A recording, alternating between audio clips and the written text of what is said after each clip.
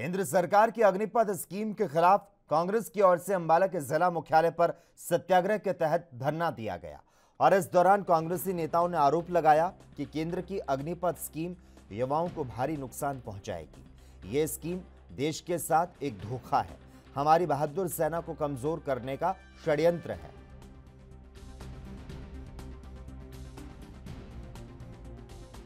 देखिए, जो भारत में भाजपा सरकार है इस वक्त, मोदी सरकार है, इन्होंने जिस प्रकार से एक तानाशाह रवैया अपनाते हुए अग्निपथ योजना लाए हैं, जिसमें ये अग्निवीर के रूप में युवाओं को कह रहे हैं कि सेना में भर्ती करेंगे, और वो सिर्फ़ चार साल के लिए भर्ती करेंगे, ये एक देश के साथ धोखा है।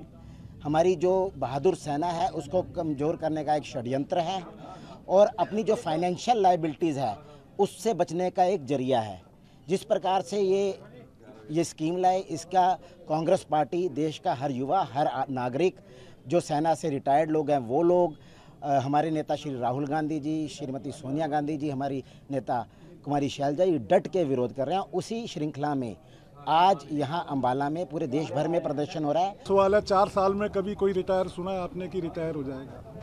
चार साल की नौकरी और उसके बाद रिटायर आप नोटबंदी लेके आए कि देश में काला धन आएगा और आतंकवाद पे लगाम लगेगी. देश के आज अर्थव्यवस्था का क्या हाल हो गया?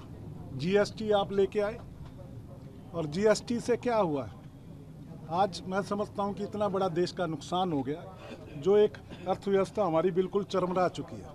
उसके बाद एग्रीकल्चर के ऊपर, किसानों की भलाई के लिए तीन काले कानून लेके आए।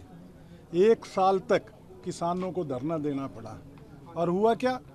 वो काले कानून वापस लेने पड़े। उसके बाद मैं तो समझता हूँ ये फौज के अंदर एक हालात ऐसे पैदा कर रहे हैं, मुझे तो लग रहा है